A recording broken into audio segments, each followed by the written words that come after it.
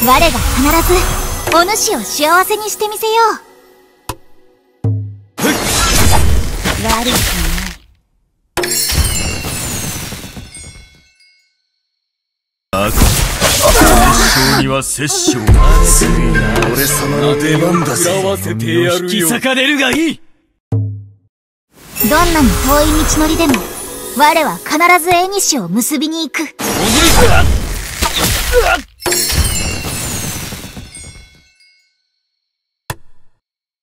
悪には悪殺生には殺生男の肉の香りかしらね。